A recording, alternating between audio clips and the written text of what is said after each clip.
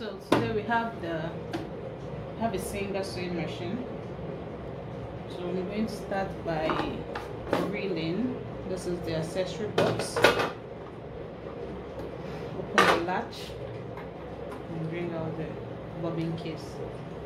And here's our reeler i'm going to put it facing towards the right right?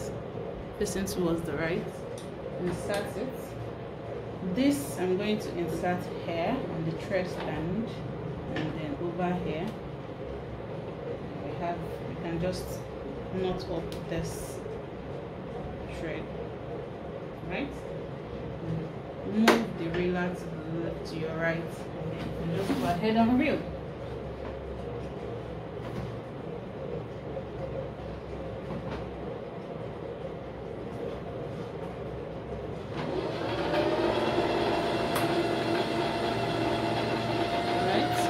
just reel as much as you want.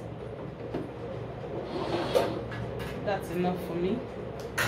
Move it back to your left. Remove it. Right? Then insert it into your bobbin case to the notch over here. This little notch. Then voila. You have it in this corner. Insert it back. Just make sure. Oops.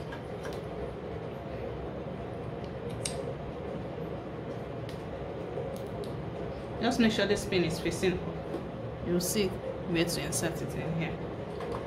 You just push to click. And then you have that. So i'm going to pass my thread. The directions for threading it is on top here. So there's this is number one. This is number two. You go in here this is number three. Look over the top. Number four is the threader right? And come back down to five. And there you have it. You can now insert it into your needle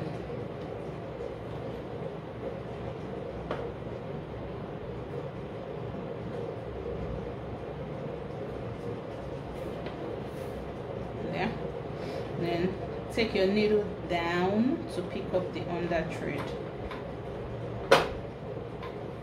There you have it. Now you can shut this case and insert your accessory box back. Right